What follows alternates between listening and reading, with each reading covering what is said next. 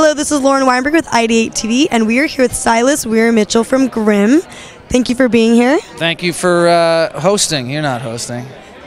Not for East West, but for Ideate. this interview. Exactly. Thank you for hosting this event right here between us. Well, thank you for attending this event right here you know, between us. anytime I'm the only person invited somewhere, I'll go.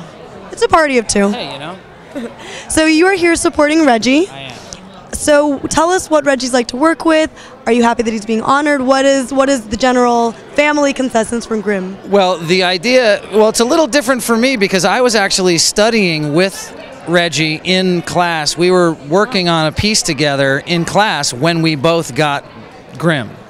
So we share a certain affinity for a way of working, and to be able to share that in the professional world with someone who is a, a, a longtime compatriot in the trenches of practice uh, in the trenches of class, someone who understands the way you work. That doesn't happen very often because you get 10 actors in a room, you get 10 different ways of working. But with Reggie and I, we understand things similarly. So it's a delight to be able to share time with him in a story.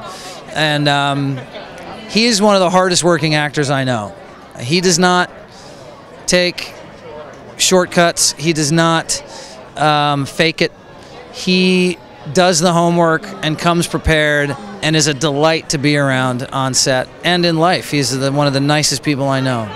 What did you both do when you found out that you had gotten characters on Grimm? We, we couldn't, it was just we laughed. We, we laughed and we were delighted and we shared the kind of, you know, hey, we, you know, won the jackpot.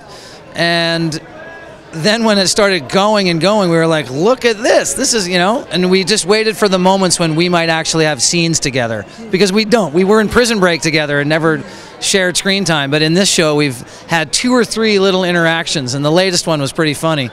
So uh, it's just.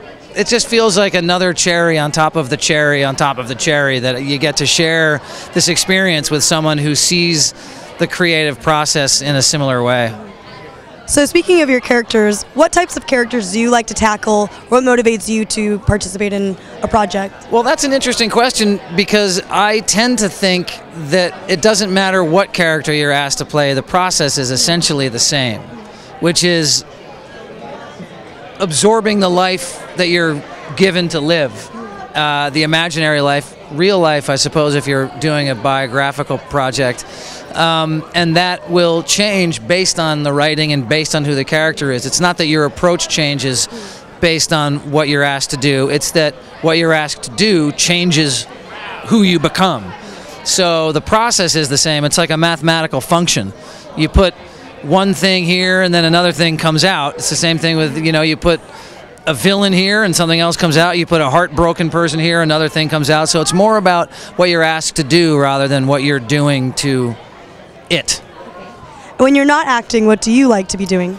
Oh, I like to read. I do a lot of reading. I walk with my dog. I have a, a beautiful new dog that I spend a lot of time with. Um, I'm really. Uh, I'm a, I'm a big fan of, of um, hockey. So right now I'm obsessed with the uh, playoffs. So I'm watching way too much sports. Um, but uh, you know, I travel when I have time. You know, An actor with a bel- well-balanced life. yeah, yeah. I have a, a balanced a balanced psychic diet. Well, thank you for joining us. I'm Lauren with Ideate TV, and I'm here with Silas Weir Mitchell. Thank you. Thank you.